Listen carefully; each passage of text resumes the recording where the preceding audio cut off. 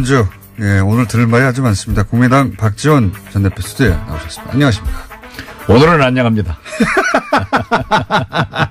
안녕, 못합니다. 몇 달 하시다가. 예. 안녕합니까? 왜냐하면 희망이 있습니다. 우리가 민주평화당 당명을 어제 결정해서 예.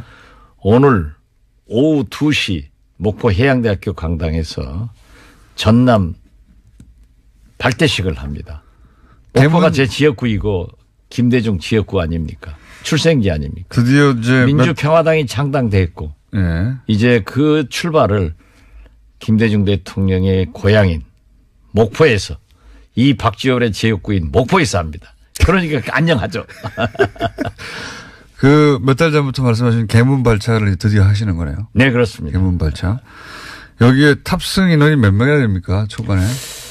지금 현재는 비례대표를 포함해서 네. 어, 17, 8명? 비례대표는 근데 잘하면은 예. 20명이 넘을 겁니다. 비례대표는 그런데 지금 출당 안 시켜줄 것 같지 않습니까? 끝까지? 그렇습니다. 예. 에, 그러면 그분들을 빼고. 대표는 예. 출당시켜줘야 된다 하고 고집덩어리 안철수 대표는 하지 않겠다고 하는데 예. 안철수 대표가 무엇으로 유명해졌습니까? 아름다운 양보로 양보 유명해졌는데 이제 저는 안철수 대표가 아름다운 이별을 택할 때가 됐다. 그래서 이제라도 이성을 찾아주기 바란다.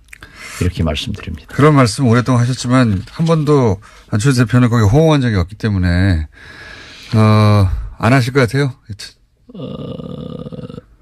오늘부터 좋은 얘기 해야 됩니다. 좋은 얘기. 예, 왜냐하면 아름다운 이별을 위해서. 예, 그렇죠. 왜냐하면 예, 안철수 대표가 박원순 시장에게 아름다운 경선, 아름다운 양보를 했고 또 문재인 대통령 후보에게도 양보를 해가지고 떴거든요.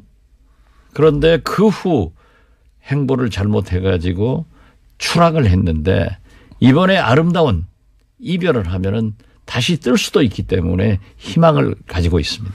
그렇게 안 하실 것 같아요. 그렇게 안 하실 저도 그럴 것 같아요. 그러면은 비례대표를 빼고 나면 15명 정도는 최소한 확실히 의사를 밝혔다. 합류하는데 예, 그렇습니다. 15명이라고 보면 됩니까? 예, 예. 제가 오늘 하는 블랙하우스에서 이영주 의원을 모셨는데 사실은 거기서 15명이라고 숫자를 꼭 찍어서 말씀하시더라고요. 예, 그렇습니다. 지난 월요일 녹화 때. 15명을 확보됐다? 네, 그렇습니다. 그런, 그런데 이제 거기에 그 세 분 정도의 비례대표가 있고 비례대표는 출당을 굉장히 어려운 상황인 것 같으니까 그러면 20명은 되게 어려운 거 아닙니까?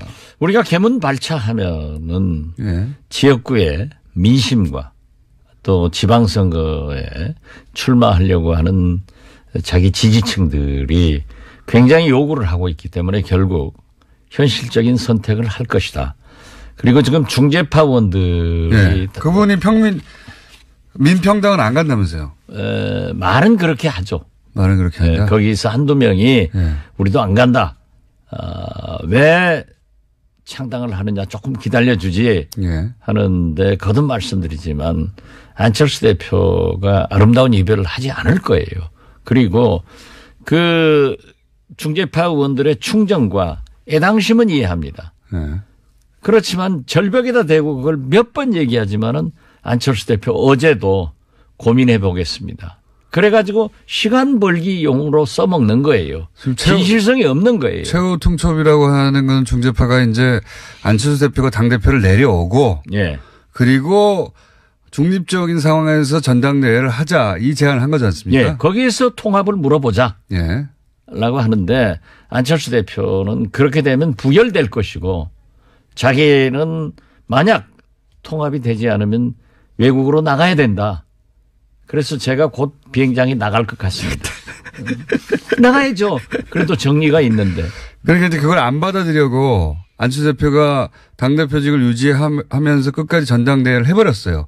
그러면 이 소위 중재파 행동을 같이 하기로 했다고 하는 대여섯 분 이분들은 그러면 이 그렇게 해서 통합으로 쭉 가버린다 본인들이 얘기를 안 듣고 그럼 이제 무소속으로 있거나 아니면 민주평화당으로 가거나 아니면 통합된 당으로 가거나 셋 중에 하나지 않습니까? 그렇죠? 그분들의 행보는 어떻게 예상하십니까? 그분들이 지금은 중재를 위해서 안철수 대표에게 사퇴를 강하게 요구하고 어제 정동영 전 의장이 박주선 황종 의원을 만났는데 26일까지 우리가 28일 날 예. 창당 발기대회를 하기 때문에 답을 달라. 26일까지. 예. 예. 그랬더니 안철수 대표는 역시 구렁이에요. 어? 고민해 보고 있습니다. 예. 고장난 유성기 알아요? 옛날 말이에요. 어? 죽음기처럼 계속 반복되는 얘기를 하면서 시간 벌기용으로 그렇게 하고 있는데 그러다가 가랑비에 옷 젖으면은 지금 우리는 젖고 있어요.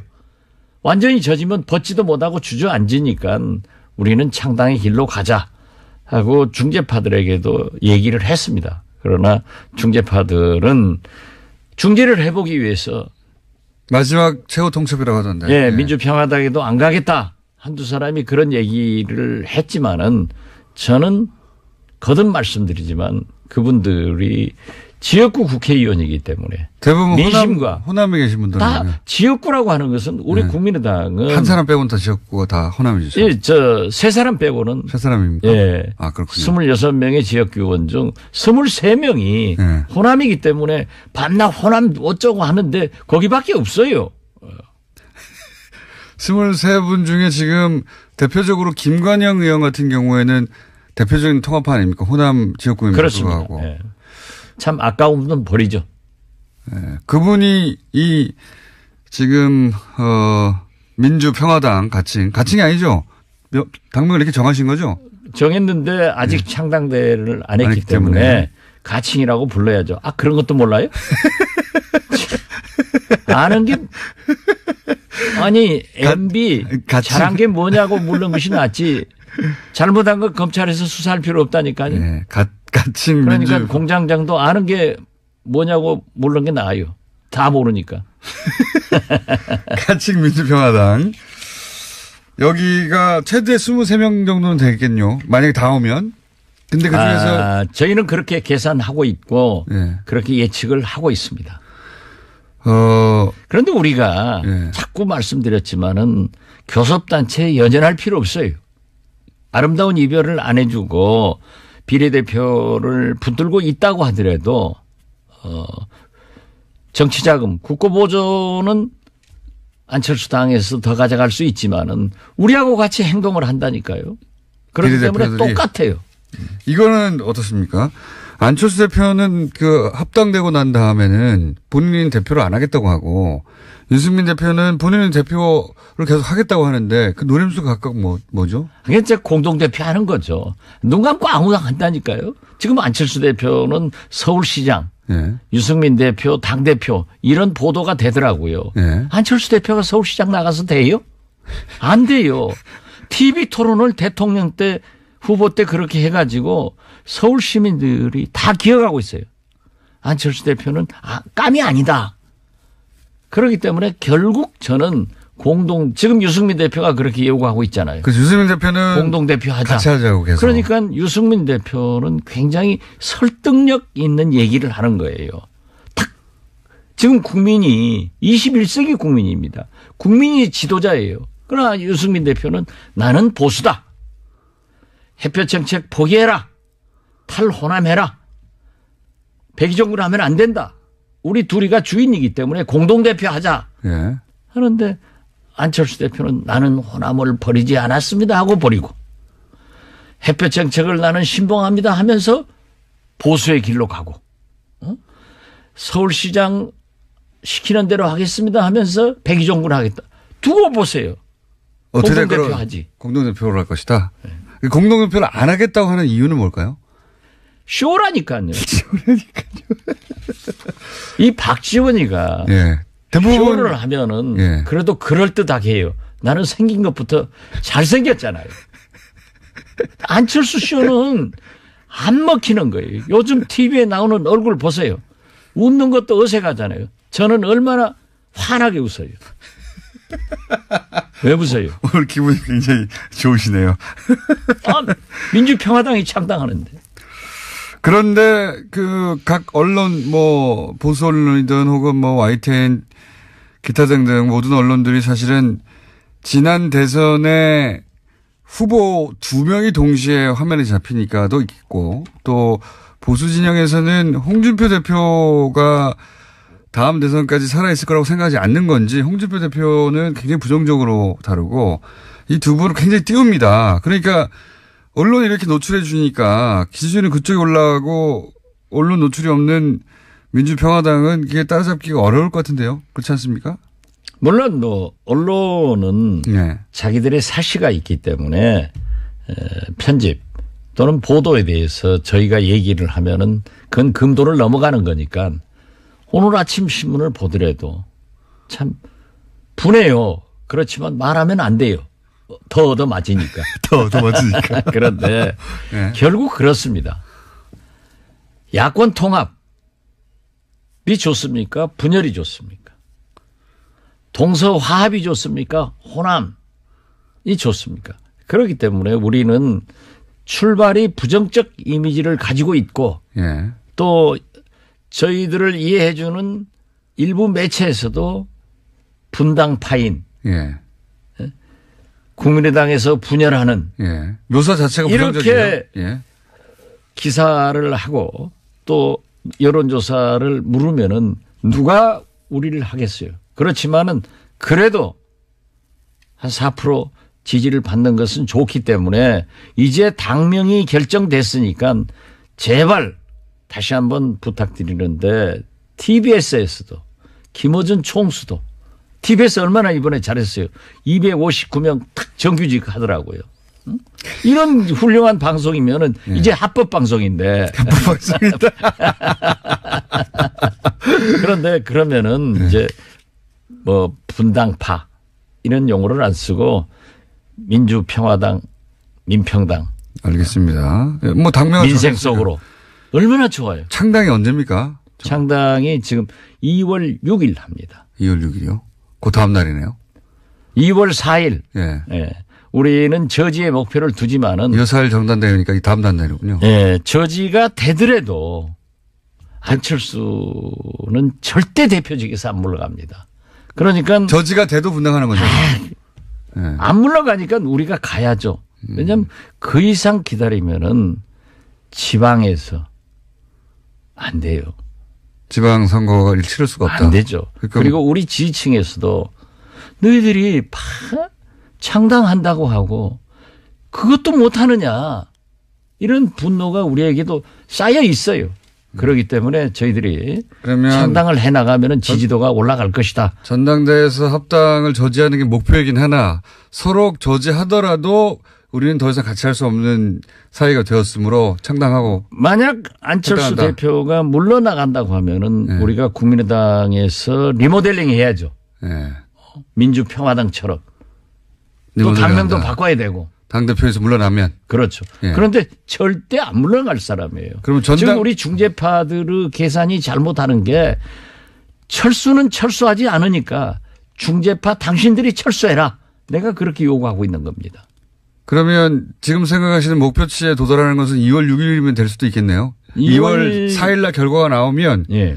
그때 전당대회가 통과되면 당연히 그러니까 합당이 통과되면 당연히 이제 탈당하실 거고 통과 안 되더라도 안철수 대표가 당 대표를 안 물러날 테니까 또 탈당하실 거고 탈당하는 거죠 말하자면 그렇죠. 그분들이 15분 정도 예, 일제로 예. 예. 그리고 나머지 분들도 그 개문 발차하게 되면 결국은 합류하게 될 것이다 생각해요. 그렇습니다. 예. 그리고 나서 이건 어떻습니까?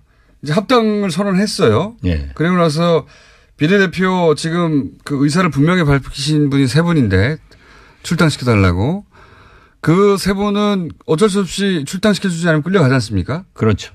근데 유승민이 유승민 대표가 그그 당의 대표가 되잖아요. 그런 상황에서는 출당 권한을 유승민 대표가 가지지 않습니까? 그렇죠. 그때는 그러니까 유승민 그것은- 대표 아, 그건 일구 이연은 이부 지자라.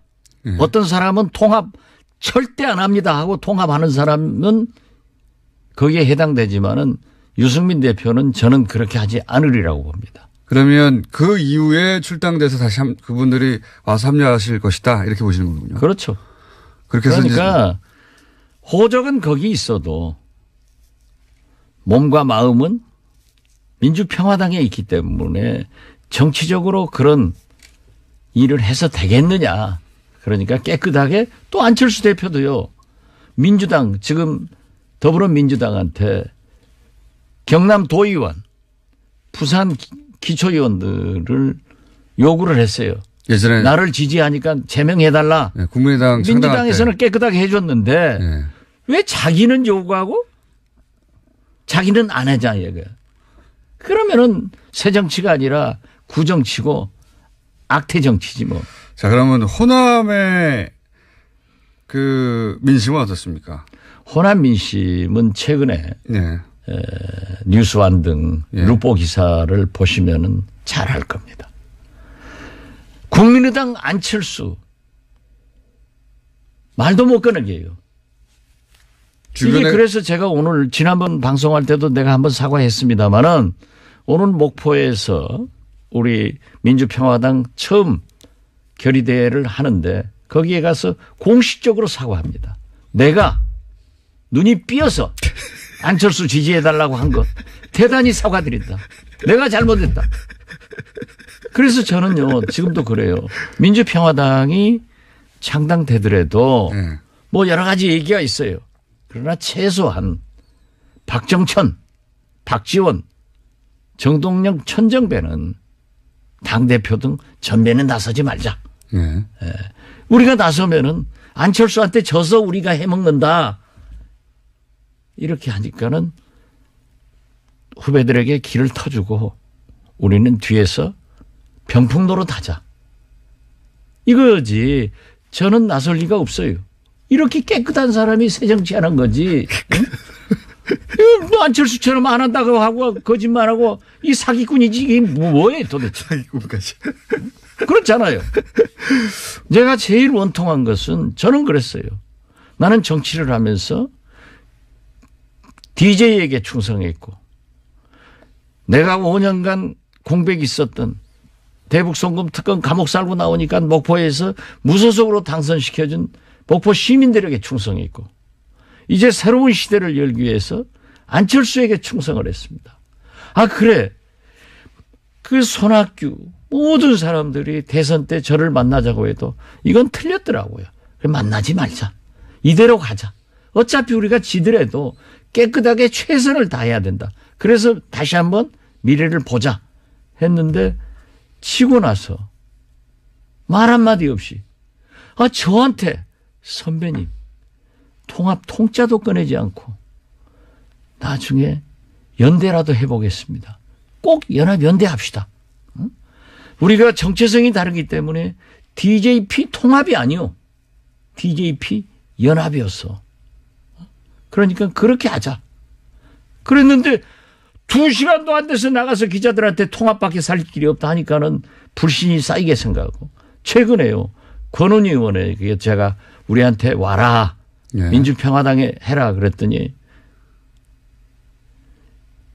대표님은 즉 박지원 대표님은 그렇게 말씀할 권리가 있습니다. 그래서 자, 저는 권은희 의원 말이에요. 안철수 대표하고 대화를 좀 해보십시오. 야, 너희 대표가 나한테 전화를 하냐? 만나주기를 하냐? 그러니, 에? 깜짝 놀라더라고요. 지금도 잘 모르시는구나. 소통을 하는 것으로 알고 있어요. 권인희 의원이나 김관영 의원처럼 이 지금 호남 베이스의 지역구 의원들 중에 지금 호남의 분위기 굉장히 안철수 후보한테 우호적이지 않다고 하는데도 불구하고 그 그쪽으로 그 통합하러 가 계신 분들은 어떤 이유에서죠? 제가 권은희 의원이 지난 총선 때 어려웠어요. 네. 제가 가서 광주의 딸 박근혜와의 대결이다.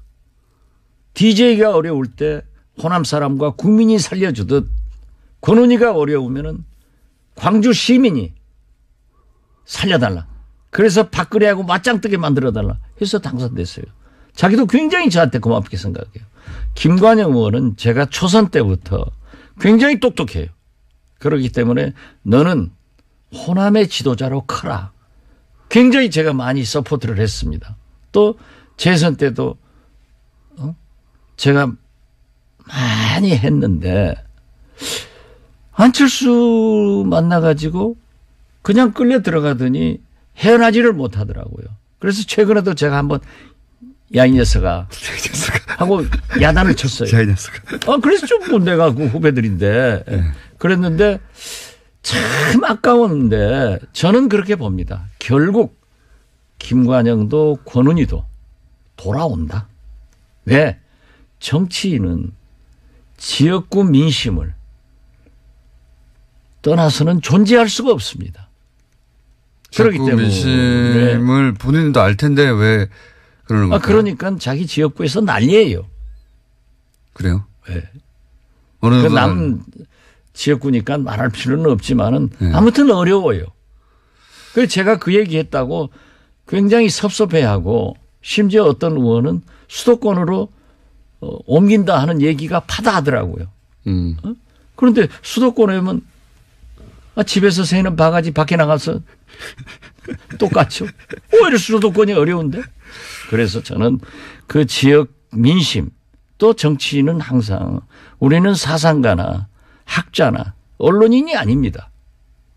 내 생각이 중요한 게 아니라 국민의 생각이 중요한 거예요. 내 생각이 중요한 게 나 하고 싶은 게 아니라 지역구 구민들의 뜻을 따라가야 되는 거예요. 좀 철학적이지 않죠. 할수 없어요, 정치인은. 음. 그래서 저는 민심이 그러니까 막 나중에라도 돌아온다. 아, 뭐, 집 나간 아들, 딸이 돌아오면 부모로서 받아야지 어떻겠어요. 돌아옵니다. 그렇게 생각하신다. 그래서 결국은 20석이 넘어갈 것이다. 예, 그럼요. 그리고 그렇게 되면은 만약에 말씀대로 하시면 그 합당한 당의 규모가 거의 비슷해질 수도 있는 거 아닙니까? 아니죠. 나중에는 예. 안철수 대표가 우리에게 와서 비례대표 좀 제명시켜달라고 할 수가 있어요. 그 이유는 하도 내부에서 반대 의견을 계속 아, 그렇죠. 공개적으로 개진하기 때문에. 예. 아, 우선 보세요. 저 통합을 해놓으면은 평창 동계올림픽 하는데 어? 어, 얼마나 싸우겠어요. 지금 MB 문제 가지고도 옹호하고 반대하고 이게 되겠어요 한 집구석에서? 그래서 우리는 개문 발차를 해서 비록 원내 교섭단체가 되지 않더라도 기다리고 있으면 다 온다. 그리고 우리는 촛불혁명의 산물인 적폐청산과 개혁을 위해서 우리는 나가야 국민이 우리를 지지할 수 있다. 그러나 문재인 대통령이 만약 잘못하는 게 있으면은 우리는 엄중한 질책을 하면서 협력할 것은 협력하겠다 이런 자세를 가지고 있습니다. 이 합당의 최대 승자는 유승민 대표인 거 아닙니까? 현재까지는? 아, 그러니까 유승민 대표가 예. 국민의당 안철수 가지고 놀아버리는 거죠.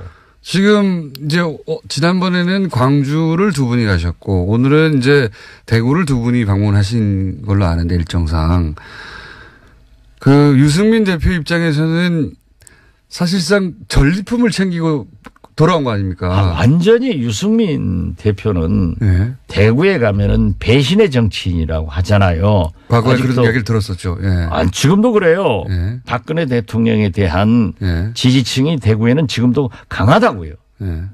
그렇기 때문에 배신의 정치인이다 해서 언론 보도에 의하면 다음 국회의원 안 된다라고 하니까 탁 하는 거 보세요. 이분 머리 좋아요. 햇볕 정책 안 된다. 탈호남해라. 어, 그리고 대구 사람들로서는 어? 저게 배신이 아니고 효자네?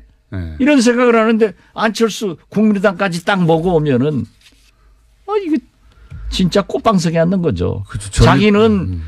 아홉 석 꼬마당 당 대표에서 이제 원내 교섭단체를 이루는 당 대표를 하면 얼마나 좋아요. 안철수 대표는 왜 이걸 하는 걸까요, 근데? 이제 이제 본인이 계속 여러 가지 하는 얘기가 이제 보수의 적자가 되겠다는 전략인데. 아니 그러니까 그게 이게 제가 수차 않습니까? 얘기했지만은 안철수 대표는 대통령 해보려고 진보 개혁에 위장 취업했다가 대통령 떨어지니까 아 저 한국당 보니까 홍준표 대표 가지고는 안 된다. 또 언론에서도 취급을 안 해주고 어 보수 본류에서도 저거 가지고는 안 된다 하니까는 국민의당을 우리를 끌고 데리고 가서 보수의 대통령 후보가 되고 대- 집권을 대통령이 돼보겠다. 대통령 병 걸렸으니까 눈에 보이는 게 없어요. 아니, 아니 그런데 거기까지는 박지원이 예. 데리고 가서 자기가 좋을 게 뭐 있어요? 그러니까 버리고 하는 거 아닙니까? 버리고 가는 게 아니라 내가 안철수를 버리는 거죠. 어쨌든 안- 안철수 대표 입장에서는 이제 박 전 대표님 버리고 가는데 제가 궁금한 것은 그 과정에서 굉장히 상처를 많이 입었잖아요, 사실은. 아 그러니까 요즘 이제 왜 이런 플랜을 짰을까 좀 구, 안철수 이- 이해가 잘안 제가 가서. 예. 매일 공격을 하니까 저는 제 고향이 진도예요. 진돗개는 한번 보이면 절대 놓지 않습니다. 어? 진돗개는 물어가지고요 흔들어 버려요 또 놓지도 않고. 그런데 제가 매일 공격을 하니까 어? 그 졸개들이 안철수 졸개들이 저를 공격하는데 졸개들. 누가 손해예요? 저는 대통령 안 나와요. 안철수가 손해지. 아니, 그러니까 이 게임의 법칙도 모르는 거야. 손해날 싸움을 계속 하는 것. 안철수 얼마나 급했으면은 박지원이가 제 이름을 딱 거명하면서 기자회견 하면서 국민의당 입당할 때 어? 이- 이렇게 했다. 아, 내가 뭐 틀린 게 뭐 있어요? 아니 누가 유승민하고 통합하지 말고 연합 연대 하자. 어 그리고 어? 문재인 대통령에 대해서도 나한테 그래요 요즘 응? 왜 문모닝 하더니 요즘은 안 모닝 하냐 문재인 무서워서 그러냐 제가 뭐, 뭐 무서워요 제가 문재인 요즘도 제일 많이 때려요 여자 아이스하키 팀 같은 거 동일팀 해봐야 어려우니까 설득을 했어야 된다 어? 이런 거 하는 거예요 그런데 보세요 어? 저하고 안철수하고 싸우면 누가 손해예요 그래서 그리고 아- 안철수도 싸울지도 몰라요. 말을 나보다 못해. 박시원 대표님이 이제 처음에 합리적 진보 개혁적 보수하고도 같이 하자 했었지 않느냐.